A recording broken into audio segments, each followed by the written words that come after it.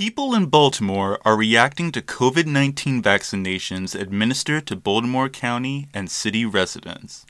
MCOM 250H Julian Johnson shows us how different people are jumping onto the opportunity to get their vaccines.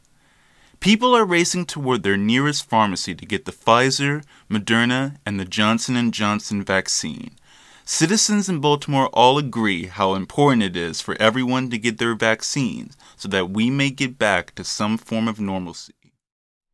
Yes, I think um, everyone should get the COVID vaccine.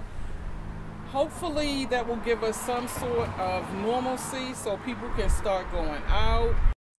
Many feel that getting the vaccine will help people get back to daily activities and fun events such as picnics. Others feel that getting the vaccine will help people return to some religious endeavors that have changed due to this pandemic. I'm here to talk about the, the, the, vaccine. I believe that everybody needs to get the vaccine in order for us to try to get back to some normalcy, um, whether it's going to church, whether it's having um, picnics, whether it is uh, whatever we do to have fun. And for me, it's travel. People can get their vaccine at their local pharmacy or mass vaccination site.